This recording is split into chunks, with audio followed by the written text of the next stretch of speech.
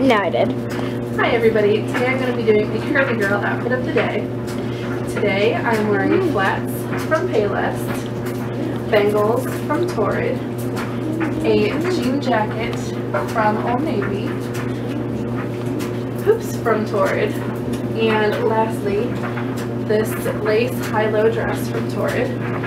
I absolutely love it.